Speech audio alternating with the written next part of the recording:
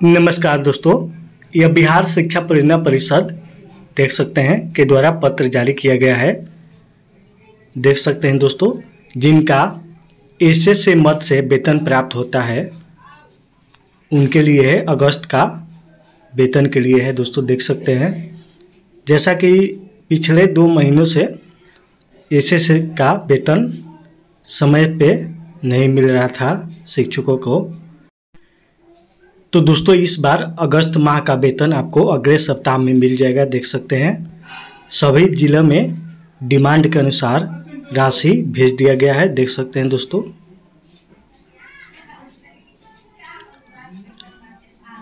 तीस आठ दो हज़ार चौबीस, यानी कि आज का पत्र है।